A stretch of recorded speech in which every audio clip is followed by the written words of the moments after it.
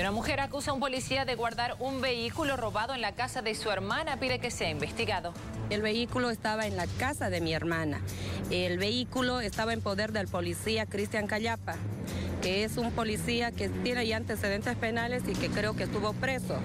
Eh, me fui yo a Diprove a mencionar que había un vehículo en la casa de mi hermana que todavía que ya estaba deshabitada y tenían que haberla entregado.